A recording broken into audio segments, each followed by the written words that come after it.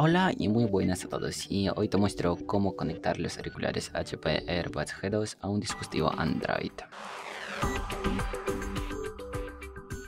Ah, pues bueno, primero que tienes que hacer es abrir los ajustes. Después de eso tenemos que encontrar aquí el Bluetooth, pulsamos y pulsamos en ah, bueno, vincular nuevo dispositivo.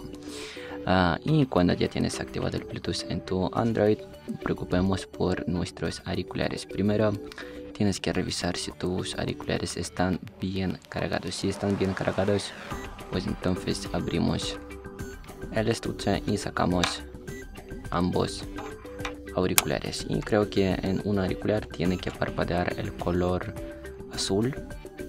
bueno, en ambos tiene que parpadear.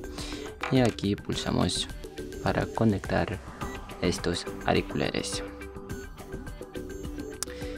Y como puedes ver ya tenemos conectados nuestros auriculares a nuestro Android.